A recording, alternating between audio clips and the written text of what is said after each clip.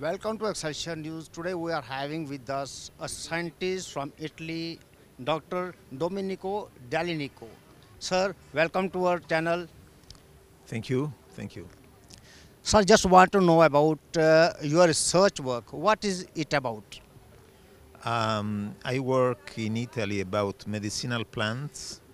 I am a physician and I uh, usually uh, work on testing the bioactivity of medicinal plant extracts uh, on uh, cancer or on immune system. So, how your country is taking these uh, traditional medicines of India like Ayurveda and other such uh, therapies?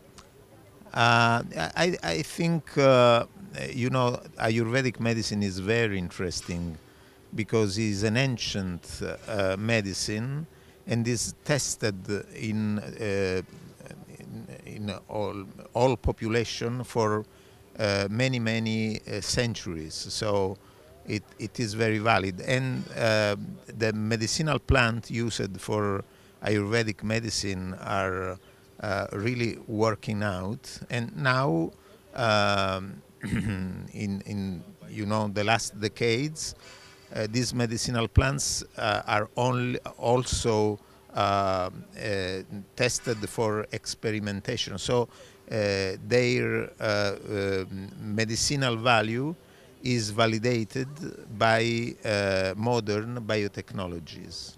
So you are here for the last two days. Uh, what you have observed so far, and what you feel where our research work and infrastructure and every system differs from yours. Uh, well, uh, the, the main difference is the ethnopharmacology, so uh, medicinal plants in India are central for health maintenance, uh, for uh, is a, a- a- a lifestyle. Uh, in the Western world, in Italy, in Europe, um, they lost the cen- centrality, the, the, this importance, uh, because of the development of uh, pharmaceutical industry that uh, allow uh, a large scale production of drug made of only one molecule. So uh, this is the main difference. Here, medicinal plants are central for life and for medicines. Uh, in in the Western world, they are in some way complementary. Uh, they uh, uh, lost their importance that they had in the past. So do you find any room for betterment on this side on our research works? Um, okay, I, I didn't catch the, the, the question, please. Do you feel that still we have something more to do to better our research work? Sure, sure.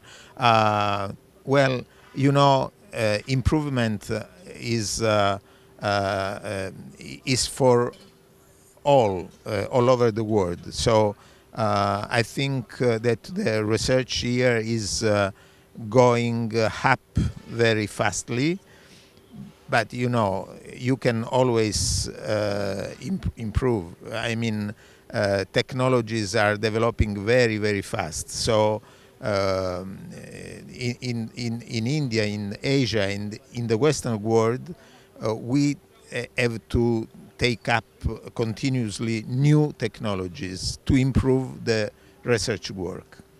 Thank you, sir, for sharing the valuable information. Thank you. It was me, Sanjeev Kumar Sharma, with Nitin Kanotra at camera.